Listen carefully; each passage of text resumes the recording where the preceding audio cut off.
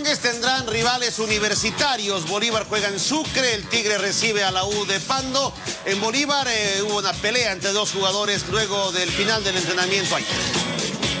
El director técnico celeste Javier Ascargorta prueba a Carlos Tenorio y Oscar Rodas en el ataque para visitar a Universitario en Sucre. Si bien hoy viene más motivado, sabemos que, que de repente ellos están pensando en la próxima fase que le toca jugar también.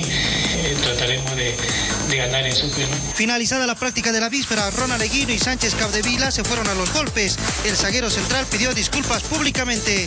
Estoy muy dolido yo personalmente por lo que pasó. La verdad, en ese momento me perdí. Nunca me había pasado esto. ¿no? Para el encuentro ante la U de Pando, el Tigre presentaría a dos delanteros desde un inicio. El debut de Abel Méndez, que ya se encuentra habilitado, es una de las grandes novedades para ese compromiso. Y el partido del sábado va a ser de la misma manera. Vamos a tratar de buscar el arco, estar bien parados, tener el dominio de balón hacer respetar nuestra casa. Vaca, Guayar, Paz, Martel y Torrico, Castro, Cristaldo, Méndez, Escobar, Ramallo y Melgar será el 11 de Néstor Cravioto. Y va a ser la primera vez que juguemos contra el equipo de Pando, así que lo vamos a encarar con la mayor responsabilidad posible.